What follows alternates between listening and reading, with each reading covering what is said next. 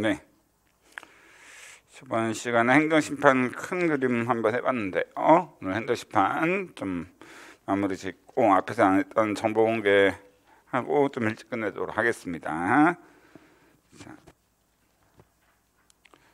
자, 그러면은 일단 책으로 보시면 324페이지 행정심판인데요.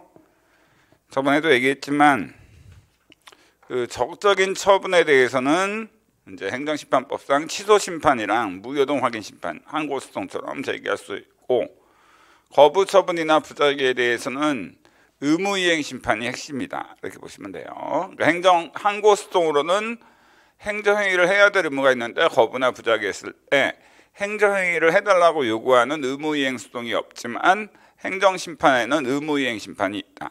이렇게 생각하시면 될 것 같아요. 그게 좀 특이한 점이다. 아시겠죠? 자, 그럼 324페이지 행정심판. 개념에서 뭐 실적음 행정심판은 실적음 행정심판이란 널리 행정법상의 다툼으로 행정주체 행정객체 간의 권리 의무 다툼에 대한 심리 판정이 법원이 아니라 행정기관에 의해서 이루어지는 행정쟁송 절차를 말한다. 그러니까 행, 법원이 하는 것은 행정소송이라면 은 법원이 아닌 행정기관이 행하는 어떤 분쟁에 대한 해결 적용 이게 실적 음행정 심판이고요.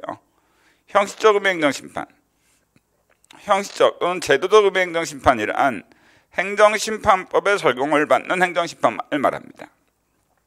그럼 행정심판의 성격 일단 거기 뭐 여러 가지 있습니다만은 행정심판은 그냥 자세히 볼 필요 없이 일단 법원이 행하는 판결과 유사한 성격을 지니기 때문에 준사법 그러니까 사법부인 법원이 행하는 그 판결과 유사하다고 해서 준사법적 행정행위인가 준사법적 행위인가 동시에 어쨌든 행정심판위원회라는 행정청이 내리는 재결이라는 것이 행정행위이기 때문에 행정행위의 성질로 법원의 사법적용의 성질과 행정행위의 성질을 모두 지닌다고 보시면 돼요. 그럼 3번 행정심판과 유사한 제도와의 구별 이의신청 이의신청은 뭐냐면 처분청한테 당에 네가 내린 처분을 직권 취소해달라고 요청하는 게 이의신청이에요.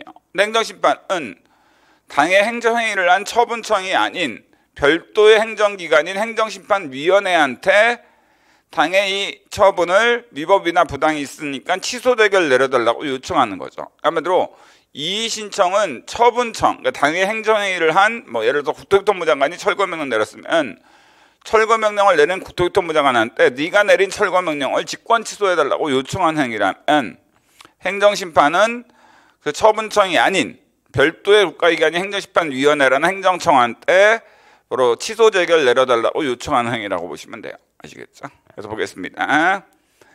행, 이의신청과의 구별. 행정심판에 있어 원자로 처분청이 아닌 행정심판위원회가 심리 판정하는 데 비하여 행정심판에 있어서는 이의신청은 처분청에 대하여 당해 처분의 위법 또는 부당할 이유로 직권 취소해달라고 구하는 쟁송 절차를 말합니다. 됐고요. 청원과의 구별은 뭐 청원은 그냥 그야말로 국민들이 억울하면 대통령, 아니, 청와대에도 청원 넣고 국회에도 청원 넣고 그냥 자기의 억울함을 풀어달라고 요청하는 행위에 불과한 의미 없고요. 행정심판의 존재 이유는 행정심판은 담당 국가기관이 행정심판위원회라는 같은 행정부에 소속되어 있는 행정청이다 보니까 자율적 행정부 스스로가 자기가 내린 처분을 자율적으로 통제한다는 측면이 있고 사법기능, 그러니까 법원의 판결과 유사하기 때문에 사법 기능을 포함해서 법원의 부담을 경감시킨다. 행정심판으로 분쟁이 해결되면 국민은 법원에 소송되기 안 할 거 아니에요. 그러니까 법원이 소송을 많이 맞지 않게 돼서 부담이 경감되게 되겠죠. 자 넘어갑니다. 그럼 이제 행정심판 법상의 행정심판의 종류. 일단 취소 심판, 무효동 확인 심판, 의무이행 심판 이렇게 세 가지가 있어요. 그래서 행정 심판의 종류. 행정 심판법상 행정 심판에는 취소, 무효, 의무이행 심판 이 세 가지가 있습니다. 그럼 취소 심판. 행정청에 위법 또는 부당한 처분의 취소 또는 변경을 구하는 심판이다. 취소 심판 청구가 이유 있다. 그러니까 당해 처분에 위법이나 부당이 있다고 인정될 때는 행정심판위원회는 위법 또는 부당한 처분을 직접 취소하거나 변경 재결, 그러니까 취소 재결이나 변경 재결을 내리고 또는 처분청으로 하여금 변경하도록 명할 수 있다. 그리고 변경 면, 명령 재결을 내릴 수 있는 거죠. 그래서 인용 재결, 그러니까 취소 심판에 대한 인용 재결에는 당해 처분에 대한 취소 재결 또는 당해 처분을 운전면허 취소 처분을 면허정지 3개월로 변경해라 라고 변경 명령 재결을 내리거나 또는 행심위가 직접 면허 취소 처분을 면허정지 3개월로 변경하는 변경직을 내릴 수 있어요. 근데 어떤 때 취소 대결 내리고 인용 대결로서 어떤 때 변경이나 변경 명령직을 내리는가 이 부분에 대해서는 저번 시간에도 설명드렸죠. 그러니까 운전 음주운전으로 인한 면허 취소 처분에 대한 취소 심판에서 어, 행심위가 판단해 보니까 이 사람이 음주운전을 아예 안 했어. 그러면 당연히 취소 대결을 내리는 거고 이제 운전면허 면허 취소 처분에 대한 취소 심판에서 행심위가 보니까 이 사람이 음주운전을 하긴 했어. 근데 혈중 알코올 농도가 0.03밖에 안 돼서 선행 관행에 따르면 면허정지 3개월 처분을 해야 되는데 면허 취소라는 걸 해서 자유구소 원칙이라는 평등 원칙에 위반된 위법이 있단 말이에요. 이런 경우에는 바로 이 사람한테 그 면허 취소 처분을 취소하는 재결이 아니라 아, 면허 정지 3개월이 정당 위법하지 않고 적, 적당하잖아. 이런 경우에는 행심위가 직접 면허 취소를 면허 정지 3개월로 변경하는 재결을 내리거나 아, 처분청한테 선행관원과 동일하게 면허 정지 3개월 처분을 해라라고 변경 명령제를 내리는 겁니다. 무효동 확인 심판. 무효동 확인 심판이란 행정청의 처분의 효력 유무 또는 존재 여부에 대한 확인을 구하는 심판을 말한다. 그래서 청구가 이유 있는 경우 행심위는 처분의 유효, 유효, 유효, 무효, 실효, 존재, 부존재 확인 재결을 내리게 됩니다. 의무행 심판이 있다 보시면 되고 행정 심판의 대상 이거는 행정수정법과 마찬가지로 행정심판의 대상 적격은 처분과 부작이라고 규정하고 있어요. 의무이행 심판의 대상은 거부 처분과 부작이고 취소 심판과 무효 확인 심판의 대상 적격은 처분입니다. 네, 이때 처분이나 부작위의 개념은 행정수정법상의 처분과 부작위와 동일한 개념이에요. 거기서 배운 거 그대로 쓰시면 되는 거죠. 그래서 보겠습니다. 행정심판법은 밑줄 친 거. 행정심판의 대상을 처분 또는 부작위로 규정하고 있다. 단지 행정수정법엔 이런 게 없는데 행정심판법은 대통령의 처분 또는 부작위에 대한 다른 법률에 특별한 규정이 있는 경우를 제외하고는 행정심판을 제기할 수 없도록 하여 하고 하여 직접 행정수동을 제기하도록 하였다. 한마디로 대통령은 행정심판을 담당하는 행정심판위원회라 행정청보다 상급 행정청이기 때문에 상급 행정청인 대통령이 내린 처분을 하급 행정청이 심판하는 것은 적절치 않다고 봐서 대통령의 처분이나 거기에 대한 부작위에 대해서는 행정심판의 대상에서 제외하도록 되어 있습니다.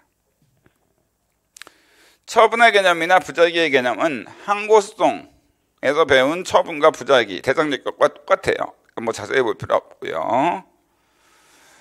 그 다음에 행정심판 기관은 행정심판위원회라는 그 기관이 담당한다. 그 정도만 보시면 되고 329페이지 당사자 보통 소송에서는 소송을 제기한 원고와 소송의 상대방인 피고, 이 원피고를 소송의 당사자라고 한다면 행정 심판은 원고라고 표현하지 않고 심판을 청구한 사람을 청구인, 심판 청구를 당한 행정청, 처분 행정청을 피청구인이라고 합니다. 그래서 청구인과 피청구인의 대립 구조로 하는 거죠. 그래서 청구인. 자, 피청구인 뭐 이런 건 됐고, 심판 청구 요건. 이거는 취소 수동으로 얘기한다면 수동 요건이에요. 그러므로 만약 청구인이 청구한 취소 심판이 심판 청구 요건을 못 갖췄다. 그러면 행정심판위원회는 각하 제거를 내립니다. 아시겠죠? 심판 청구 요건은 수동 요건과 똑같으니까. 그럼 이제 행정심판의 심판 청구 요건으로 대상 적격은 처분 또는 부작인데 이때 처분과 부작의 개념은 행정수동의 대상 적격인 처분과 부작위와 동일한 개념이니까 앞에서 이미 항고수동할 때 배웠으니까 보면 되고 로마자 2번 청구인 적격은 원고 적격에서 배운 거와 동일하게 법률상 이익이 있는 자만이 행정심판을 청구할 수 있도록 돼 있어요. 그러므로 이때 법률상 이익에 대해서 다수결과 판례는 법률상 보호이 있어요. 바로 법에 의해서 보호되는 권리, 그러니까 처분의 근거법규나 관련 법규에 의해서 보호되는 그 직접적, 구체적, 개별적 이익이 있을 때, 바로 광의의 권리가 있을 때 청구인 적격이 인정됩니다. 아시겠죠? 그러므로 당해 취소 심판을 청구한 제3자가 당해 처분으로 인해 침해받은 이익이 없거나 이익이 있더라도 그것이 법에 의해서 보호되는 권리가 아니면 법률상이 바로 청구인 적격이 없어서 각하 재결을 받게 됩니다. 피청구인 적격으로 처분행정청 및 신청받은 행정청인데 이때 여기서 행정청은 바로 행정수동법상 행정청 바로 법에 의해서 처분 권한 부여받은 모든 자를 의미한다고 얘기했습니다. 심판 청구 이익은 이미 소의 이익을 앞에서 그 먼저 항고 소송하면서 배웠으니까 그거랑 동일하다고 보시면 돼요. 그러니까 예를 들어서 철거 명령에 대한 취소 심판을 제기했는데 행심위가 재결 내리기 전에 이미 대집행 실행이 완료돼서 건물이 철거돼 버렸다. 그럼 철거 명령 취소 재결 받는다 한들 청구인한테 회복되는 이익이 없잖아. 이런 경우 심판 청구 이익 금결로 각하 재결 냈는 겁니다. 이해되시겠죠? 그럼 심판 청구 기간. 자, 행정심판은 행정법 관계의 소속권 안정을 기하기 위해 심판 청구 기간에 일정한 제한을 두고 있다. 다만 이것은 그 성질상 취소 심판과 거부 처분에 대한 의무이행 심판에만 적용되고 무효동 확인 심판과 부작위에 대한 의무이행 심판에는 적용되지 않습니다. 반로 무효동 확인 심판과 부작위에 대한 의무이행 심판에는 심판 청구 기간에 제한이 없다는 거예요. 제소 기간 같은. 그래서 오로지 적극적 취소 심판이나 거부 처분에 대한 의무 이행 심판에만 심판 청구 기간에 제한이 있고 바로 부, 무효동 확인 심판과 부작위에 대한 의무 이행 심판에는 심판 청구 기간 제한, 바로 제소 기간 같은 게 존재하지 않아요. 원칙적인 심판 청구 기간. 심판 청구는 원칙적으로 처분이 있으면 알았으면 안 날로부터 90일. 만약 처분이 있으면 몰랐으면 처분이 있은 날로부터 180일 이내에 제기해야 됩니다. 예외적 심판 청구 기간. 청구인이 처분이 있으면 알았다 하더라도 천재지변, 전쟁, 사변 등 그 밖에 불가피한 사유로 인하여 앞에서 말한 90일, 안날로부터 90일 이내에 심판 청구할 수 없었을 때에는 그 사유가 소멸한 날로부터, 그러니까 전쟁이 끝난 날로부터 14일, 국외, 그러니까 해외에서는 30일 이내에 제기하면 된다. 한마디로 처분이 있으면 알았더라도 안날로부터 90일 내에 취소 심판을 제기하려고 했는데 이미 전쟁이 나서 취소 심판을 제기할 수 없었어. 그러면 전쟁이 끝날 날로부터 14일. 그 사람이 외국에 있었으면 30일 내에 취소 심판을 청구하면은 적법하게 청구한 걸로 본다는 거예요. 아시겠죠?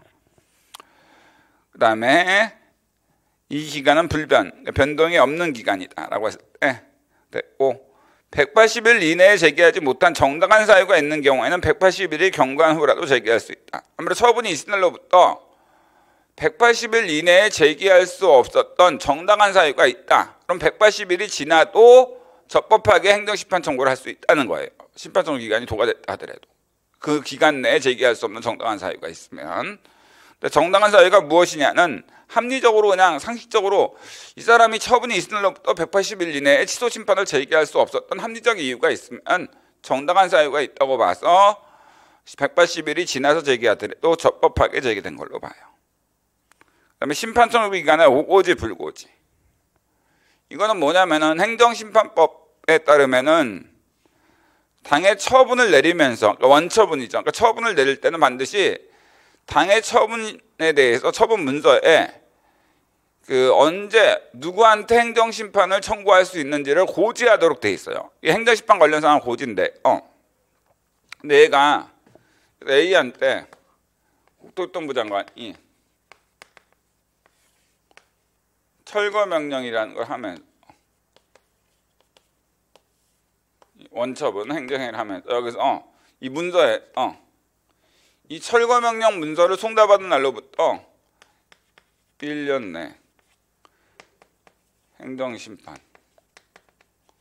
가능하다. 제기 가능하다. 이런 식으로 원래 처분이 있으면 알았으면 안날로부터 90일 내에 제기할 수 있다라고 고지했어야 되는데 철거 명령하면서 그 철거 명령 문서에 처분 문서에 이 철거 명령 문서를 송달받은 날, 송달받았으면 알았을 거 아니야. 안날로부터 90일 내에 행정 심판을 청구할 수 있습니다. 이렇게 잘못 알린 경우에는 이 사람이 실제로 당해 처분이 있음을 알았다 하더라도 안날로부터 90일이 지난 1년이 지나서 취소 심판을 청구하더라도 재소 기간, 심판 청구 기간을 갖춘 걸로 본다는 거예요. 그러니까 잘못 고지, 오고지 했을 때는 그 오고지된 기간 내에 행정 심판을 청구하면은 적법한 행정 심판 청구로 본다는 겁니다. 안날로부터 90일이 지나도 아시겠죠? 그리고 불고지했다. 아마도 A한테 철거 명령 내리면 어. 원래 철거 명령이라는 원처분 내릴 때는 행정 심판을 언제까지 제기할 수 있다는 걸 고지해야 되는데 행정 심판 관련 사항을 행정 심판 관련사 고지를 안 했어. 불고지라고 하죠. 언제까지 행정 심판을 청구할 수 있다라는 것을 고지하지 않았어. 이 사람이 당해 처분이 있으면 알았거든요. 근데 안날로부터 90일이 있고 180일이 있다고 했을 때 만약 이 사람이 안날로부터 90일이 지나서 어, 180일이 지나서 아, 180일 내에 안날로부터 90일은 지났는데 180일 이내에 제기했다. 그러면 이거는 심판 청구 기간을 준수한 걸로 봐서 본안 재결 내려줍니다. 행정심판법에 이렇게 나와 있어요. 그러니까 행정심판 관련 사항을 불고지했을 때는 알았다 하더라도 90일이 적용되지 않고 처분이 있은 날로부터 180일만 적용돼요. 아시겠죠? 자, 그렇게 보시면 되겠습니다. 읽어볼게요.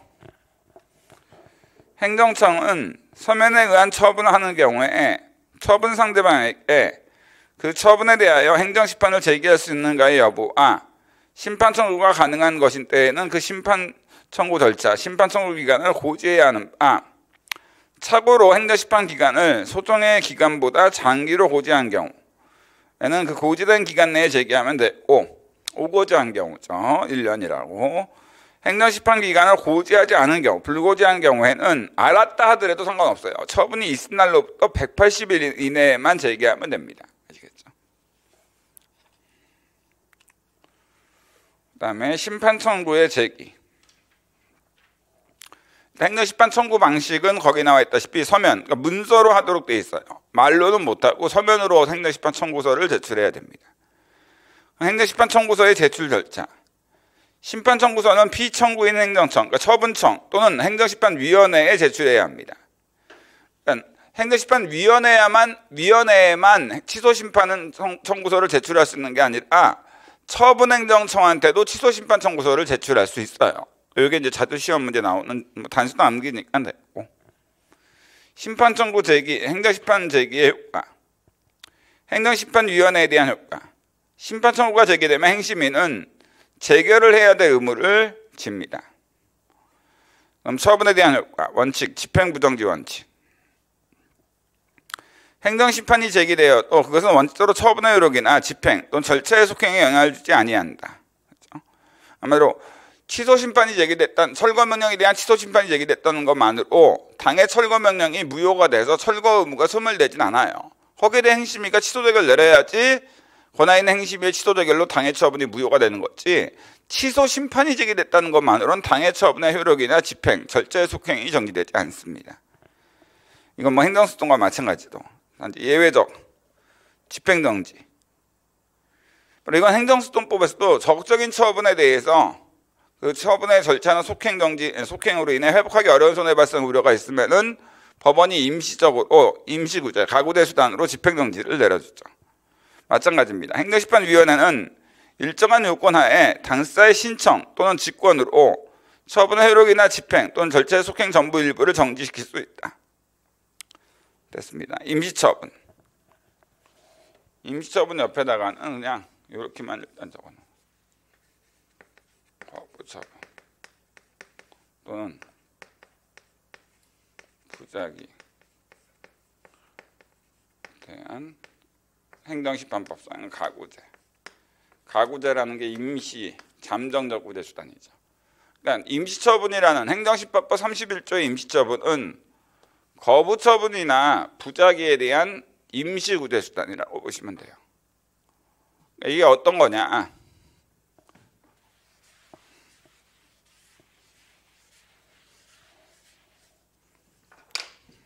예를 들어서 A 아 유흥주점 영업허가 신청을 했어.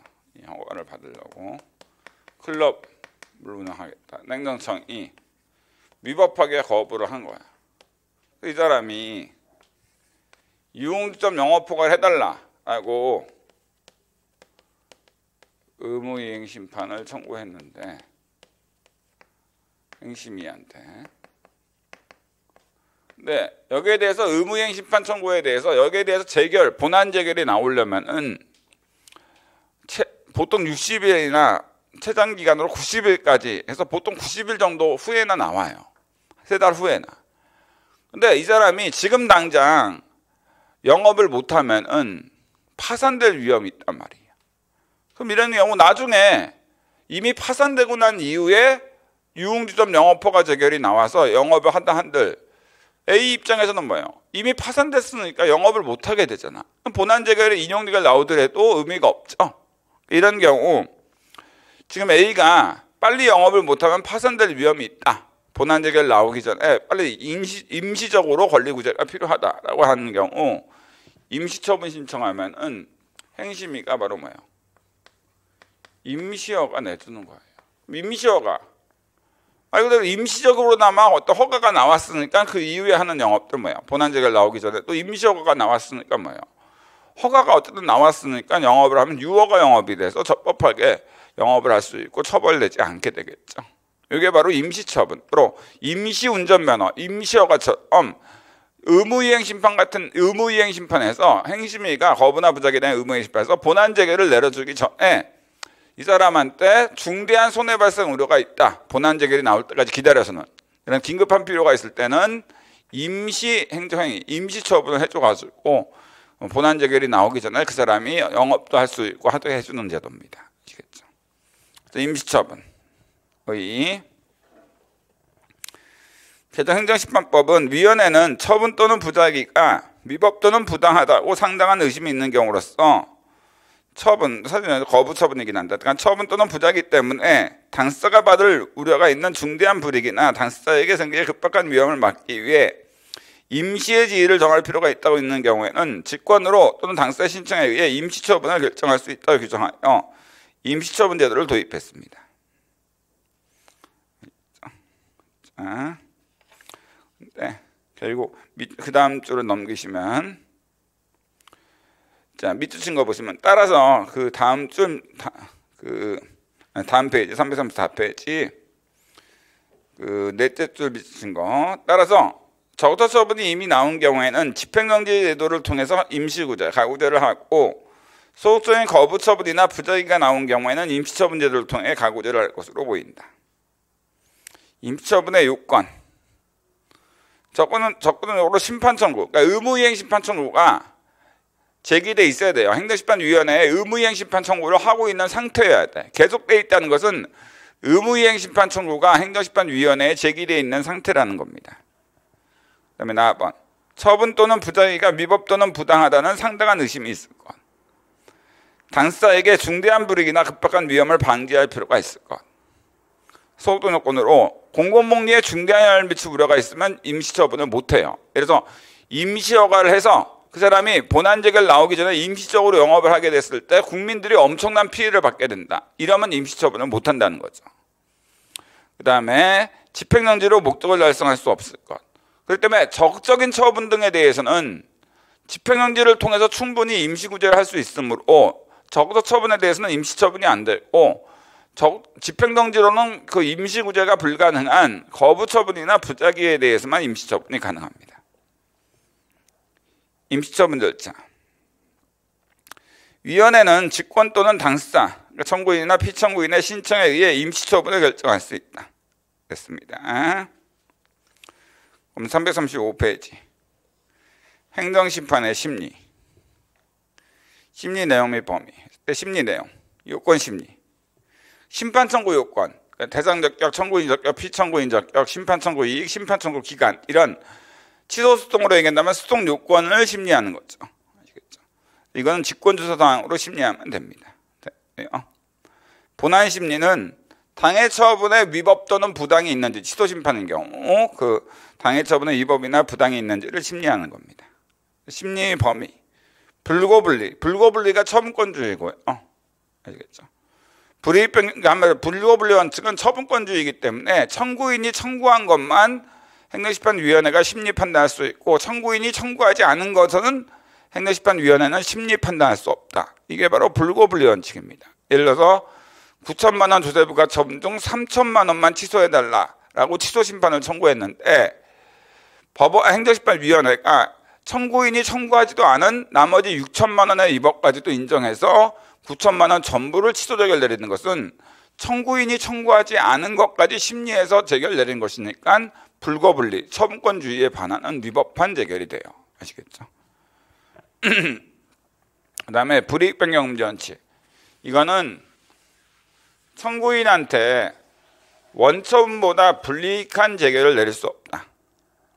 예를 들어서 A한테 예를 들어서 어? 음주운전했다고 면허정지 6개월 내렸어. 근데 A가 자기는 음주운전 안 했다고 판단해서 행정심판위원회에 취소 심판을 청구했는데 행심위가 보니까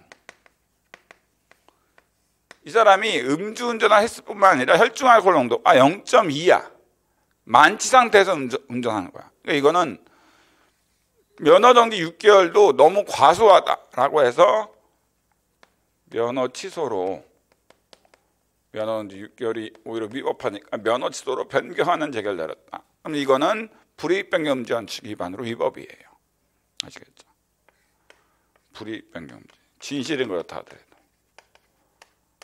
불이익 변경 금지 원칙. 불이익 변경 금지 원칙 위반이 된다. 그러니까 행정심판은 행정심판위원회가 재결을 내릴 때는 청구인한테 원천보다 불리한 재결을 내릴 수 없어요. 진실이 무엇이든 간에. 이게 불이익 변경 금지 원칙입니다. 지금 원처분은 청구인한테 면허정지 6개월인데 지금 변경된 재결은 뭐야? 면허 취소니까 원처분보다 불리한 재결이잖아. 이런 것이 불이익 변경, 불이익하게 재결로서 변경하는 걸 금지한다는 거죠. 근데 왜 이거를 인정하느냐? 행정심판법 왜 이걸 규정했느냐? 만약 원점보다 불리한 재결이 가능하게 되면 뭐예요? 국민 입장에서 괜히 행정심판 청구했다가 뭐예요? 원점보다 오히려 불리해지면 행정심판 청구를 안 할 거 아니에요. 행정심판 제도는 국민이 청구 안 하는 제도가 되니까 아무런 의미가 없게 되겠죠. 그러니까 그렇기 때문에 국민들이 행정심판을 어, 자유롭게 청구해서 어떤 권리구제를 받을 수 있는 제도로 만들기 실질적으로 하기 위해서 행정심판위원회는 원천보다 불리한 청구인한테 불리한 재결을 내릴 수는 없습니다. 아시겠죠? 아니 불이익변경정칙은 처분청이 원처분보다 불리한 재결을 낼 수 없다는 것이지 행정심판위원회가 원처분보다 불리한 재결을 낼 수 없다는 거예요. 이런 거는 문제될 것이 없습니다. 예를 들어서 A가 공무원인데 뭐 비행정청 징계권자 아 정직 3개월을 했어. 정직 3개월. 뇌물을 수수했다.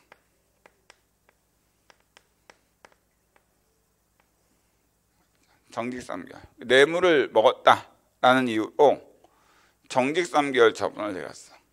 여기에 대해서 이제 특별행정심판으로 공무원에 대해서는 행정심판, 취소심판이 아니라 소청심사 청구라고 합니다. 국가공무법에 따라.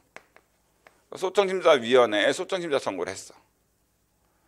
근데 소청심사위원회가 보니까 뇌물을 먹기는 먹었는데 정직 3개월 처분 시 반드시 거쳐야 되는 청문 절차를 안 거친 거야. 그래서 여기서 뭐냐면 취소 재결을 내렸어. 뇌물을 먹긴 먹었는데 청문 절차를 안 거친 위법이 있다. 절상하자로 취소를 내렸어요. 비행정청이 이 재결의 취지에 따라 적법하게 청문을 거치다 보니까 A가 먹은 뇌물이 100만 원이라고 생각해서 정점결 했는데 실제로 보니까 뭐야? 1억이야. 그래서 이제 B가 청문 절차를 거쳐서 보니까 1억을 먹었다고 해서 파면을 했어. 아시겠죠? 뇌물수. 물론 이제 여기서 청문 절차를 거쳤죠.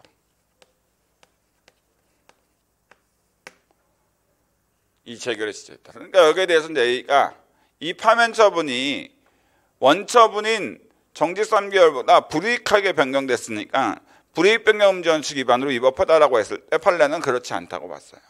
왜냐?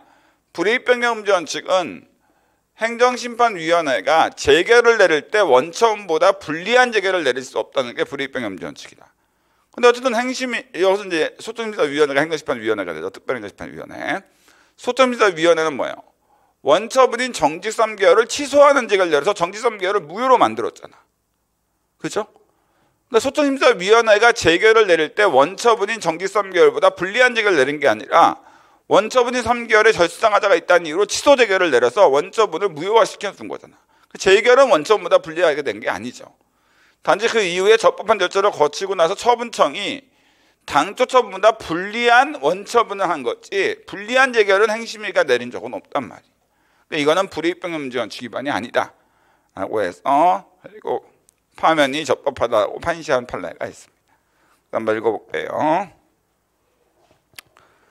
자, 행정심판법은 행정심판의 권리구제 기능을 중시하여 재결의 범위에 관하여 불거분리, 그러니까 처분권주의와 불이익병금지 원칙을 명문화했 다. 즉 행정심판위원회는 심판 청구 대상인 처분 또는 부작위 외의 사항에 대해서는 재결하지 못하며 심판 청구의 대상인 처분보다 청구인에게 불리한 재결을 불이익한 청구인한테 불이익한 재결 원점보다 불리한 재결을 낼 수 없도록 하고 있습니다.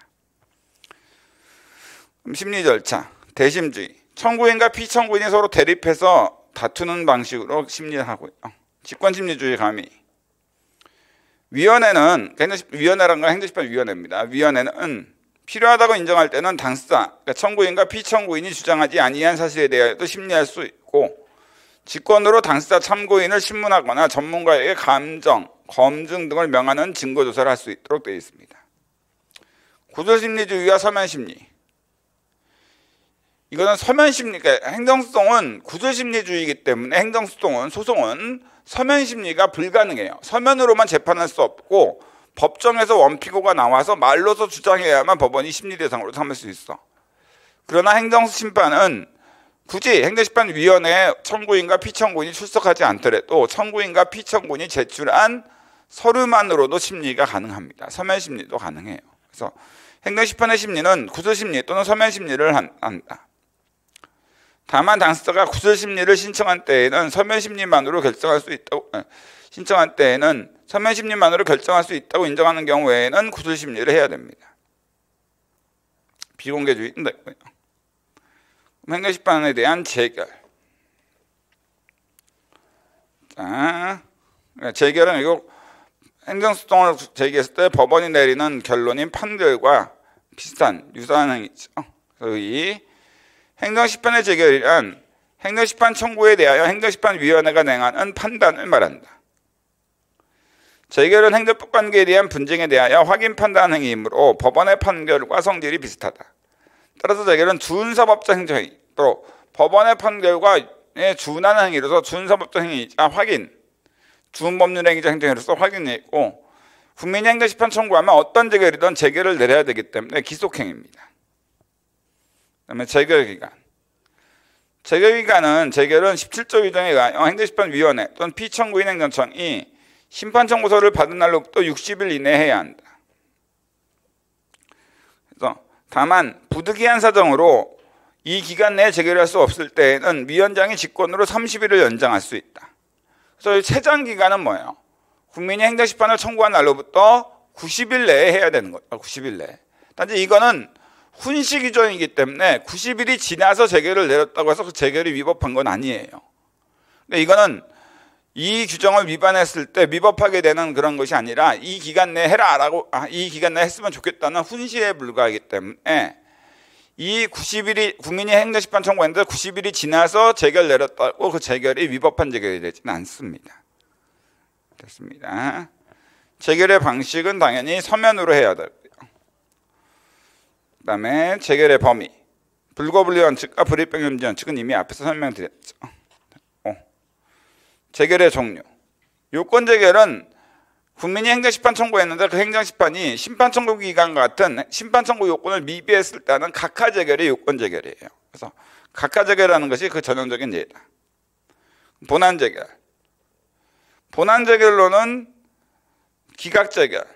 기각 재결은 뭐 단순 기각도 있지만 사정 재결이 있긴 하죠. 그래서 일반적으로 기각 재결이라 하면 심판 청구가 이유 없다. 그러니까 취소 심판에서 당해 처분의 위법이나 부당이 없다라고 인정되는 경우에 하는 재결이다. 이게 이제 단순 재결이죠. 그다음 사정 재결. 요거는 옆에다가 제목에다가 취소 심판.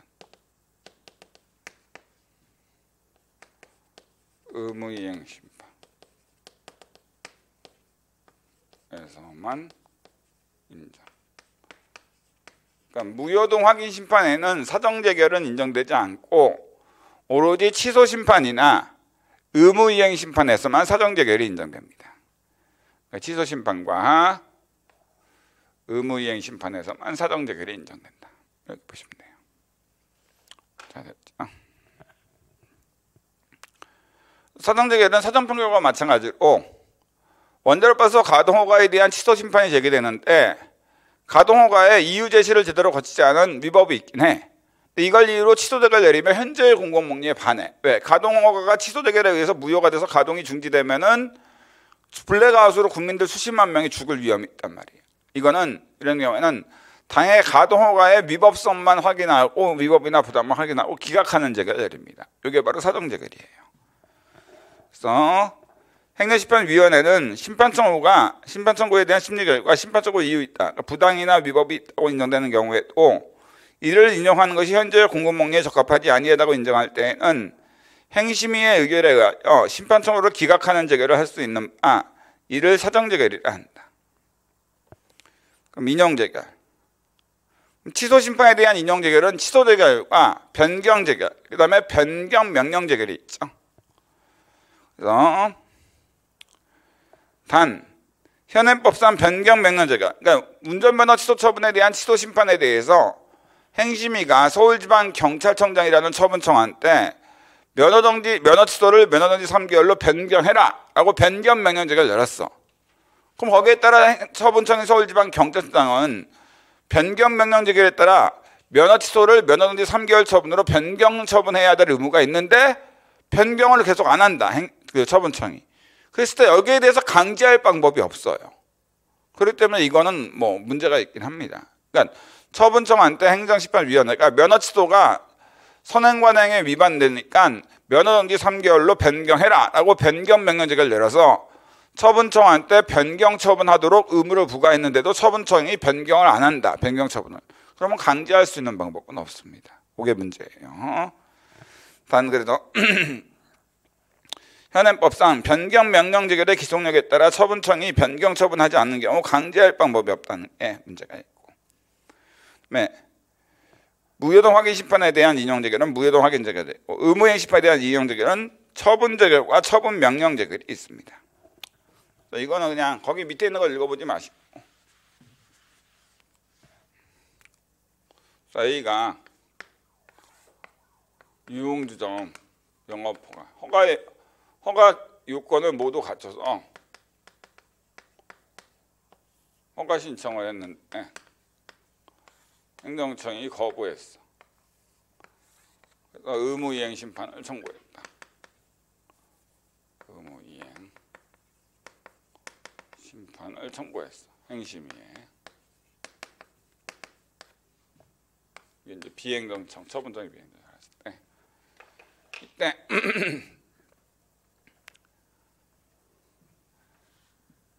심판 청구 요건을 모두 갖췄고 분화해서 허가 요건을 갖췄으므로 허가해야 될 의무가 있는데 거부해서 위법하다라고 판단되면 행심위가 직접 유흥점 허가 재결. 이게 바로 처분 재결이죠. 그러니까 재결을 재결을 통해서 유흥점 영업 허가 처분하는 거예요. 그러니까 이 이후에는 뭐예요? 재결에 의해서 유흥점 영업 허가가 이미 나왔잖아. 그러니까 그 이후에 하는 영업은 유허가 영업이 되죠. 이미 허가가 나, 재결로 나온 게 되니까 이게 바로 처분 재결이고 또는 처분청인 B한테 유흥점 영업허가 해라 라는 명령 재결 이게 이제 처분을 하라고 명령하는 재결이라고 해서 처분 명령 재결입니다. 단지 만약 참고적으로 이렇게 처분 명령 재결 내렸는데 이 B가 처분 명령 재결. 네, 불응. 한마디로 유흥지점 영업 허가를 해라라고 처분 명령 재결 내려서 거기에 따라 유흥지점 영업 허가를 해야 될 의무가 있는데 유흥지점 영업 허가를 안 하고 있어 계속. 그러면 어쨌든 처분 명령 재결이 나왔을 때는 B가 거기에 따라 유흥지점 영업 허가 하기 전까지는 아직까지는 A한테 뭐예요? 유흥지점 할 수 있는 권리가 발생하지 않아. 왜? 허가가 나오진 않았으니까. 허가 처분 재결이면 허가가 재결로 나왔으니까 유흥지점 할 수 있지만 지금 이 상태는 뭐야? 처분 명령 재결만 나왔지 거기에 따라 처분이 유흥점 영업허가 안 나왔잖아. 그러니까 이때 영업하면 무허가 영업으로 처벌된단 말이에요. 그러니까 당연히 B는 이 처분 명령 재결에 따라서 유흥지점 영업허가 해야 될 재처분 의무가 있는데 이런 의무를 불이행했다. 이런 경우에는 직접 처분 제도와 간접 강제가 있습니다. 간접 강제는 이미 행정소송법에서 얘기했죠. 간접 강제는 행정심판위원회에 간접 강제 신청하면 행심위가 처분 명령 재결에 따른 재처분 의무 이행할 때까지 하루당 1억씩 손해배상 결정을 내려서 만약 11만 간접 강제 결정에서 하루당 1억씩 결정을 내렸어. 근데 11만 그러면 처분청이 재처분 의무 이행 안 하면 뭐야? 10억을 받을 수 있게 되는 거죠. 그래서 이제 간접 강제 결정이 나오면은 처분청 입장에서 뭐예요? 의무 이행 안 하면은 돈을 엄청 많이 내야 되니까 빨리 재처분 의무 이행하겠죠. 그리고 직접 처분은 A가 행정심판위원회에 직접 처분 신청하면은 행심위가 바로 뭐예요? 직접 유흥지점 영업허가 처분 행심위가 해주는 제도예요. 그러니까 처분 명령 재결에 따라서 처분청이 유흥지점 영업허가에 대한 의무가 있는데 안 하고 있을 때는 A가 행심위에 직접 처분 신청하면 행심위가 직접 유흥지점 영업허가 처분 해줍니다. 이게 바로 직접 처분 제도라고 보시면 돼요. 자, 또 보겠습니다. 됐고. 재결의 송달, 효력 발생, 고지. 재결을 한 때에는 위원회는 지체 없이 당사자에게 재결서 정보를 송달해야 하고 재결은 청구인에게 재결서가 송달된 때에 효력을 발생한다. 자, 됐고요. 재결의 효력으로서 뭐 됐고 거기 보시면은 340페이지. 형성력이야 뭐. 취소 재결이 나오면 여태까지 유한 철거 명령이 취소 재결에 의해서 소급 무효가 된 효력인데 의미 없고 기속력으로 반복 금지요. 원상 회복 의무 이런 것들은 이미 설명을 드렸던 거고 재처분 의무 의무이행 심판에 대한 처분 명령 재결 당사의 신청을 거부하거나 부작위로 방치한 처분의 이행을 명하는 그러니까 유흥지도 명업허가 해라. 라는 처분 명령 재결이 있는 경우에는 행정청은 지체 없이 그 재결 취지에 따라 다시 이전 신청에 대한 처분, 바로 유흥지점 영업허가 해라라고 처분 명령 재결을 내렸으면 거기에 따라 유흥지점 영업허가 해야 될 재처분 의무가 있다는 거죠.